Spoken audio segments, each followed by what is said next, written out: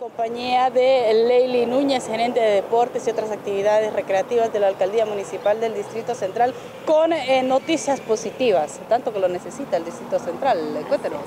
Buenos días a todos los televidentes, feliz año nuevo, que este 2023 sea de éxito para todos, ¿verdad? Eh, es especial para nosotros los capitalinos, que venimos con buenas noticias eh, de la mano del alcalde Jorge Aldana, ¿verdad? Ya que vamos a seguir con el proyecto Semillero de Buen Corazón, el cual trata de llevar las diferentes disciplinas a cada barrio y a cada colonia este, con el fin, ¿verdad? De poder eh, darle a un niño la posibilidad de practicar una disciplina deportiva y poder desarrollarse como ser humano. Recuerde que el deporte es salud, el deporte es vida y el deporte evita la violencia. También eh, estamos con el proyecto Recrea tu Historia, que es para nuestros ancianos, nuestros viejitos, nuestros tesoros de la casa, ¿verdad? Eh, para que ellos puedan recrearse, para que ellos también se puedan desarrollar, ya que este aislamiento que tuvimos con la pandemia, ¿verdad? Eh, trajo muchas muertes por depresión. Es por eso que nosotros hoy queremos darles el apoyo.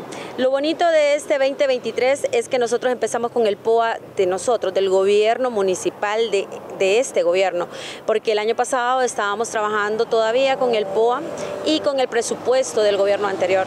Eh, el alcalde eh, está trabajando de la mano del gobierno central eh, con el comisionado Mario Moncada, la presidenta de la República, para la reparación de varias canchas, al igual que muchos diputados se van a hacer presentes para que podamos lograr y darle lo mejor a nuestros capitalinos.